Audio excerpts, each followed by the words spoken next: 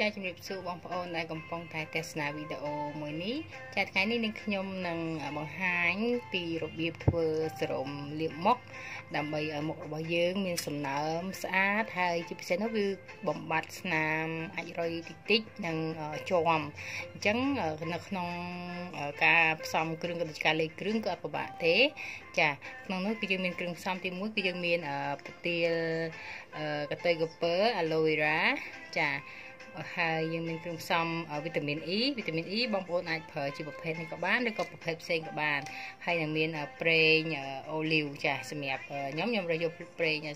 សម្រាប់ baby ពីព្រោះវាប្រើបានដូចគ្នាចាឥឡូវខ្ញុំនឹងធ្វើការលាយឲ្យមើលចាវិធីលាយទី1គឺយើងដាក់ប្រទាលចាយើងចាក់ប្រទាលនេះចូលមកល្មមមកយើងអាចប្រើបានរយៈពេលនេះចាខ្ញុំដាក់ប្រហែលជា 2ស្លាបព្រាចាទៀតតមកយើងដាក់ប្រេង aloe vera យើងដាក់មកល្មម3 4 5ដាក់5នេះវាដំណក់វាបន្ទាប់មកយើងដាក់វីតាមីន E វីតាមីន E ខ្ញុំដាក់5គ្រាប់ ចាសម្រាប់អឺវីតាមីនអឺសេរ៉ូមនេះគឺវាជំនួយធ្វើឲ្យស្បែករបស់យើងទន់រលោងចាស្បែកធម្មជាតិហ្មងហើយមួយទៀតវាធ្វើឲ្យស្បែកមុខរបស់យើងហ្នឹងជួយព្យាបាលចាព្យាបាលអាជំងឺអាចរុយឬមួយក៏ជាប់បន្តិចបន្តិចដែលយើងសើសើលើមុខហ្នឹងណាជ្រាវជ្រួញចាចា យើងដាក់វីតាមីន E នេះយើងដាក់បើសិនជាច្រើនបន្តិចក៏វាល្អដែរព្រោះវីតាមីន E វាជួយជំនួយស្បែកយើងណាចាខ្ញុំដាក់5កត់ចាដាក់ហើយចា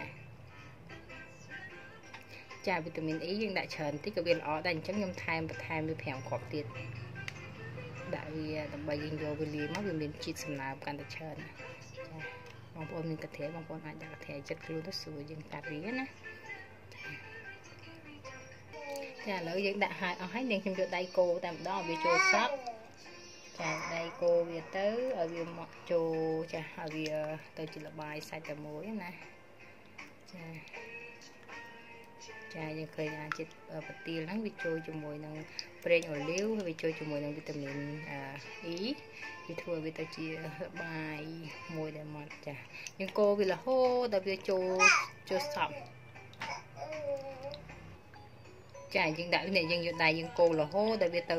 ជាលបាយមួយដូចសាច់លេអញ្ចឹងមកឃើញទេឡើងអាឡុងហ្មងបើមកតែយើងដាក់លេបលើមុខយើងទៅគឺជ្រាបចូលស្អាតហ្មងចាចាឥឡូវយើងហើយយើងសាក់លេលើមុខតែម្ដង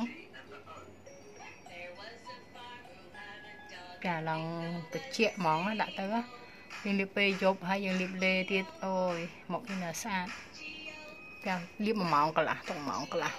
អីទៅហើយចាំយើងអាចលាងទឹកចេញក៏បានយើងដាក់ចូលស្បែករហូតក៏បានដែរ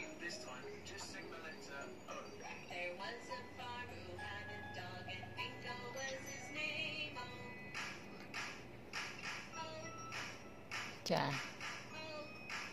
យើងដាក់កាន់តែច្រើនយើងកាន់តែមានសំណើម